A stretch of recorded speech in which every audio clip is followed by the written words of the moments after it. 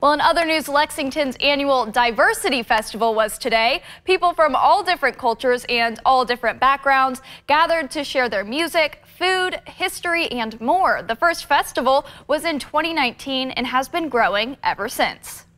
We wanted a, uh, an event that would bring the communities that are already represented in central Kentucky together to celebrate one another. And the event is actually based on three pillars, which is to educate, embrace, and celebrate our differences. With 70 vendors and more than 40 cultural performances, people from all over the city showed up to downtown Lexington to come together and celebrate one another.